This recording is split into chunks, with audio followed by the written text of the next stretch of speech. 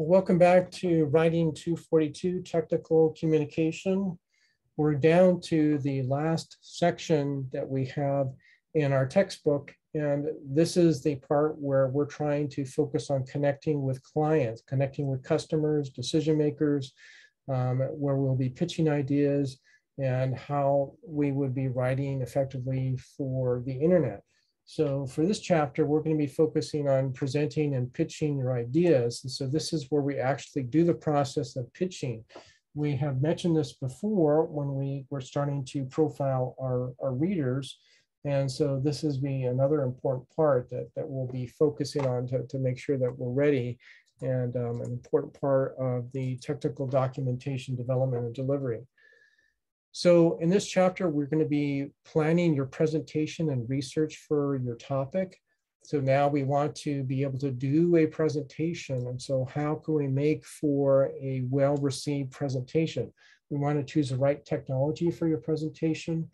We want to organize the content of your presentation. You want to develop an effective presentation style. And finally, to create and use visuals for your presentation. So this is mostly dealing with the, the transmission um, face-to-face or can be done online.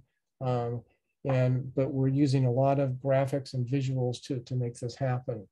We, we want to encourage and help you to be prepared so you can deliver the presentation confidently. We want to give a presentation with your mobile phone or tablet, so be prepared that you could actually have that as a way of delivering the the, um, the slides, the presentation portion that's going to complement your soundtrack. You want to be you to be able to polish your presentation with practice and rehearsal, and finally work effective with translators and cross-cultural situations.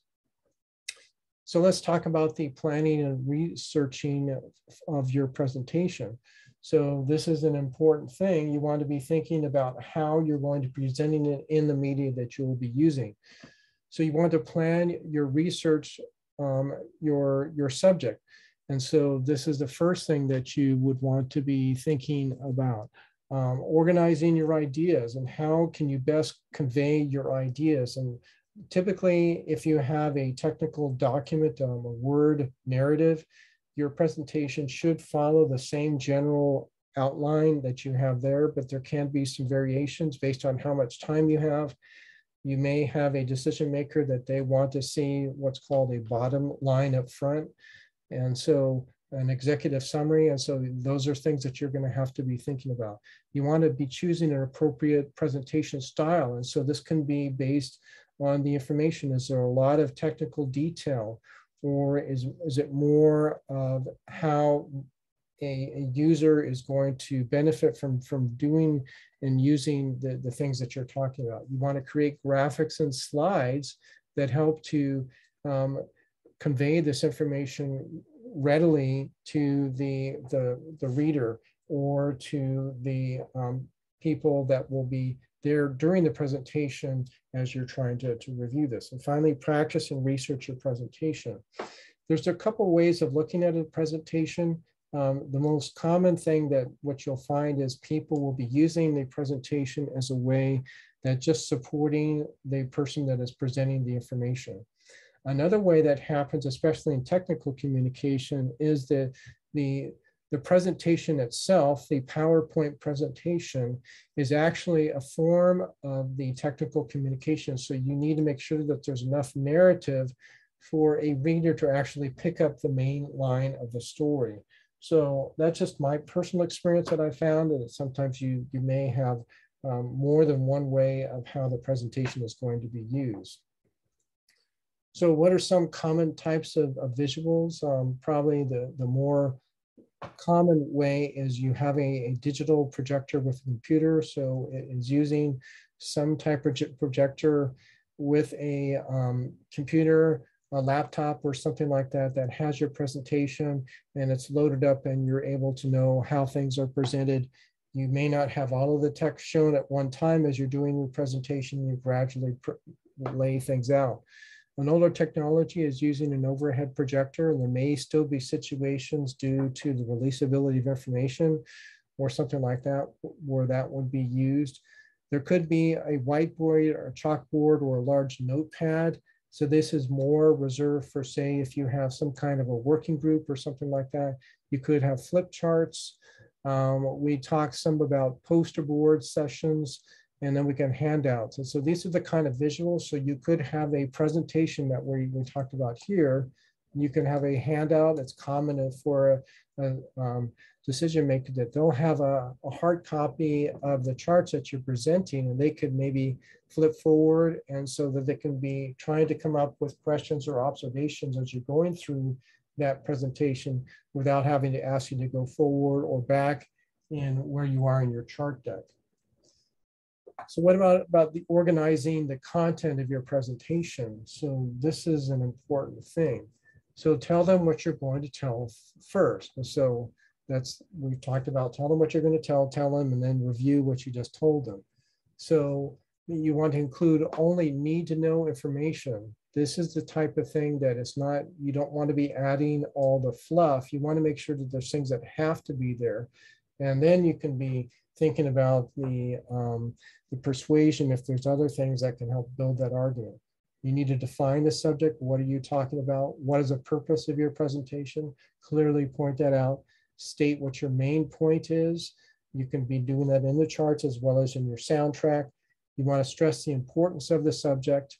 Um, why is this such an important thing to be talking about now? You want to be offering uh, background information what has been the development along this technological line, and you want to forecast the structure of the presentation. All that is is key. So you're going to be, like I said, you're going to tell them what you're going to tell them. So that's the first part. And the next part is now you actually tell them. This is when you go through more detail. You want to be using basic organizational patterns, problem, need, and solution. And the need can be where you convert the, the problem into a challenge and you propose your your your solution um, that helps to to meet that that challenge. And we spoke about the iPhone in a couple lectures, and so that could be like an example where you're offering a solution to a problem. Chronological, you can be showing the historical development of how a technology or something that is out there has changed over time, and you can be showing how this is a, the ideal time to take advantage of this. You can be using spatial ways of presenting your ideas. And so that would be something that's um, helpful to, to be capturing. Um, you can divide the subject into two um, to five zones and walk through um, a, a narrative about each one of those. And so you can divide up a chart into columns. You can have a narrative um, where you give a storyline of how this all works and what, you, what is that you're focusing on. You can be talking about your methods, what are the results that you've had, your lab results, your analytical results, your modeling and simulation, and then have a discussion. So your methods, what you're going to do, actually say what you did, and then have a discussion about what you did. You can have cause and effects. And so here are the things that are out there and the effects of each one, how viable and why is it is what you're proposing better than the other alternatives you can have a description by features or functions so you you talk about one function at a time and then you you end up by talking about the whole system and and finally you can have a comparison and a contrast of, looking at the pros and cons if you will for for things so the third part is now you have the conclusion. You tell them what you have just told them. So you have a summary. So you signal clearly that you are concluding. Now to conclude and to summarize what I've covered, so you can have a narrative there, the, the, the title of your chart. It could be a summary um, or something like that, a conclusion. You restate your key points. You re-emphasize the importance you call the audience to action. This is the thing that needs to be done. So we're looking for a decision, a go ahead to continue to what we're doing. You want to be looking to the future and say that we think that this is a really bright opportunity, that we're really excited about creating an iPhone. If you want to continue to be using that as an example in your mind, you want to say thank you and then ask for questions. All of these are things you want to give your audience or your decision maker a way to respond to everything that you convey to them. So a conclusion is only going to be, say, usually typically like a one chart, but if it's a technical information, it's okay if you have more than one chart, but you're definitely trying to summarize what you're trying to, to think about. Preparing for answering questions is important. And so this is where you need to be aware of your audience, your reader, um, the decision makers. You need to anticipate what type of questions that they have. And so you can actually have some backup charts that you cover some of those key questions that you think would likely come up. And so you could quickly go to those backup charts during the, the question and answer session. So the elaboration or clarification questions, this is something that you would have. And so they, they want to have more information. So you make more information available. A hostile question. And so this is where you can be saying, well, I can tell that something that um, has been brought up has um, triggered something for you. I apologize. And then you, you want to stay non-emotional. And then you want to be um, making sure that if there's a point that you can tie into to what you're are, are talking about that you bring it back to the point at hand with what your presentation is focusing. Finally, heckling questions, maybe there's some nuance or something that wasn't cat, caught in the editing process. You can say, well, thank you for very um, pointing that out. We'll make sure that that's not in a future um, presentation. Do you have any other comments in terms of the ideas that we're presenting? So you can try and take things back to what you're trying to accomplish with your presentation. In terms of presentation style, there, here are some examples. Um, develop a persona. And so um, you want to be thinking about take on a character that makes you comfortable, play a role and wear the mask, if you will, for that role. So sometimes wearing, um, getting dressed professionally, um, if it's appropriate, dressing more um, um, dressing up more than the people that are in the room. It can be a way of you putting on that that um, that mask, if you will, and so then you're just playing that role of delivering the message. You want to be setting a theme. A theme is a is a consistent tone which you want to establish through your, your presentation. And think you can be thinking about that. You can also be using style in terms of the, the type of um, PowerPoint um, style guide that you're going to be using and the way that you're presenting that. You want to be showing enthusiasm. enthusiasm. So this is a really powerful idea. We're very excited about what this can potentially do for the company. And, um, and then finally, keep it simple, stupid, KISS, if you've ever heard that term. So basically you want to keep on subject. You want to make sure that it's a clear and easy to follow message, the way that you're conveying this in your presentation having creative visuals, this is a, an important thing that you want to um, make sure that you do. People need visuals to fully understand the ideas. Remember, you've been looking at this information maybe for months or years, and this decision maker probably has had just um, maybe as little as 15 minutes to maybe an hour to, to, digest what you have. And so you want to be using visual aids to help them to make sure that they can get as, as much as they can attach to the material and the topic that you're talking about. Use graphics. And we talked about the, the, the different types of graphics that you can use. And avoid ineffective slides. And if so something is not adding to your story, then you take it out. And it's okay to, to put things in backup. In case a question up, you're going to have it handy. In terms of the, the presentation, pay close attention to your delivery so the audience receives a satisfying performance. And performance is a good word to be using you. You are presenting, you are, it's a show. You're trying to help them to see the importance of what you're doing.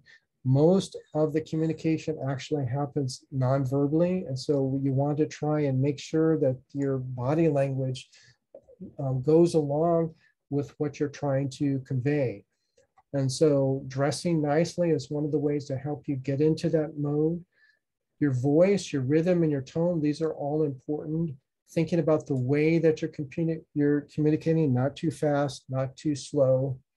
And so you're talking about the body language, the way that your voice is actually being used, and then you get into the actual content of what you're saying. You can be using notes to, to make sure that you get all the points that you, you need to get across. That's perfectly acceptable to, to be doing. Okay, what about giving presentation with a, a mobile device or tablet? And so here are, are ways in which you would potentially be using those and, and thinking about that. Um, you need to be thinking about the, the phone or video capability of, of your device and making sure that you have the, the right type of connectivity to, to make that happen. There is a, a lot of development in this area where um, you can have things readily hook up directly from a, a mobile device to a, um, a projector or television, a multimedia type of um, point in which things are delivered.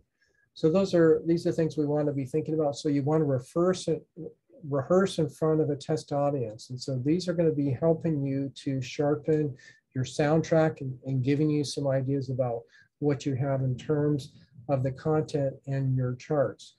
So you want to be anticipate how your audience will react. And the more you rehearse, the more comfortable you will feel with this. So this can be the, the level of review is um, directly proportional to how high of a level the decision maker or the audience in which you're going to be presenting. When you practice, you will find and correct errors. And so this is something you want to be catching as you're doing it. And evaluation is important. You want to be taking uh, constructive feedback in a positive light and don't get defensive, which is an easy thing to start to feel.